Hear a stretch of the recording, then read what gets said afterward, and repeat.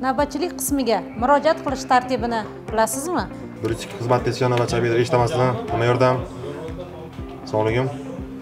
Aslida navbatchilik qismiga murojaat qilishning qonunda belgilangan alohida tartibi mavjud emas. Fuqarolar navbatchilik qismiga yordam so'rab murojaat qilishadi.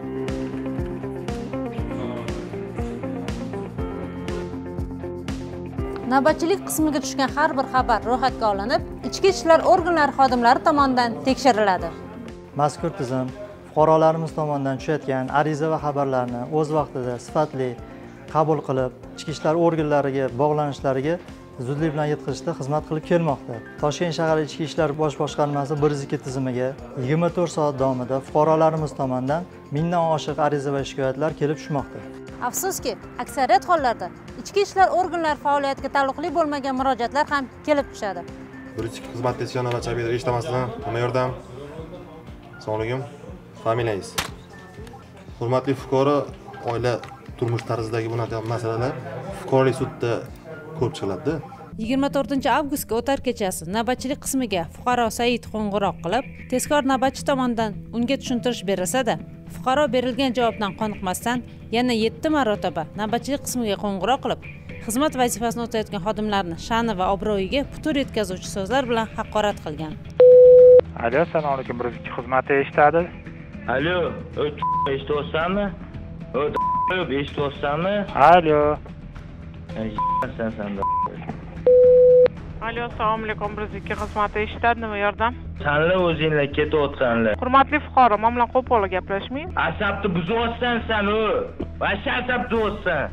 to'g'ri ushbu fuqaroning javobgarlik masalasi qonunda belgilangan tartibda ko'rib chiqiladi lekin uning ushbu xatti harakati hokimiyat vakilining obro'yiga ishchanlik qobiliyati va salohiyatiga salbiy ta'sir qilganligini umuman olganda oddiygina insoniylikka to'g'ri kelmasligini angladimikin This is tourist police. How can I help you?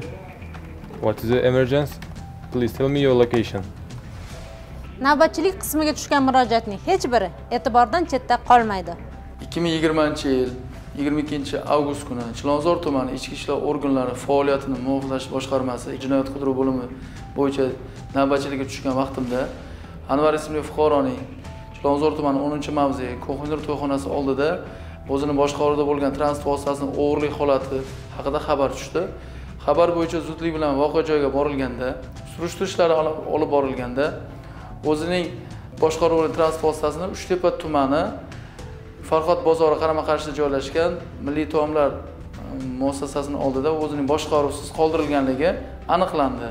Farhod bozori oldida boshdanmi?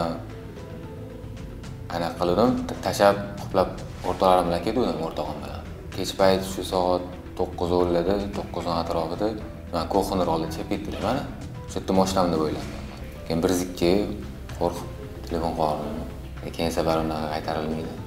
Uzr so'rayman hammaligisdan ovora qilib qo'ydim hurmatli fuqarolar siz navbatchilik qismiga murojaat qilayotganingizda xabaringiz aynan ichki ishlar organlari faoliyatiga taalluqli ekanligiga ishonch hosil qiling. Bizning faoliyatimizga taalluqli bo'lmagan murojaatingiz ko'rib chiqilayotganda haqiqatdan ham jinoyat yoki huquqbuzarlik haqida murojaat qilayotgan fuqarolar o'z vaqtida bir yuz ikki raqamiga qo'ng'iroq qilib tusha olmayotgan bo'lishi mumkinligini unutmang.